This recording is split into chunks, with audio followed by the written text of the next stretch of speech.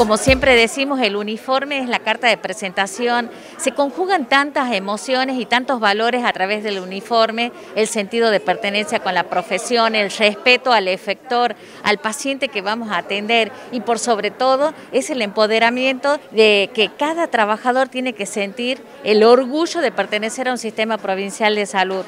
Hoy eh, arrancamos, digamos, de ver este gran equipo y esta gran decisión política de invertir en uniformes, en la gente que es la cara visible, a donde estemos en todo el interior de la provincia eh, llena de emoción. Hoy estuvimos con el área sur, pero la disposición es para todos, se arranca, eso es muy bueno. Vamos por etapa y la idea es fortificar el trabajo de la atención primaria de la salud, no tan solo que ellos nos respondan, sino también nosotros cuidarlos con su uniforme. Todos los años el Ministerio nos está haciendo llegar el reconocimiento a través de esto que es el, uniforme que marca la presencia, que dice acá estamos, como de costumbre acompañándonos en todo el proceso este del trabajo diario.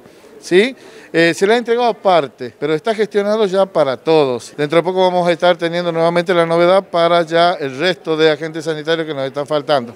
Agradecemos al ministro Agradecemos al contador Gandur, que nos apoya siempre, a la gestión de la señora Mirta Olivera, que siempre está presente en cuanto a las necesidades que tenemos nosotros. Algunas áreas operativas recibieron también camperas, que son acorde a la necesidad y a las temperaturas que le toca enfrentar a los chicos a veces, como Alta Montaña, Tafí del Valle, la gente en el este, el Timbó, Burruyacú, el Cadillal. Durante toda la pandemia estuvimos en la calle, estuvimos trabajando, estuvimos marcando presencia y el uniforme hace eso, hace reconocimiento de la comunidad.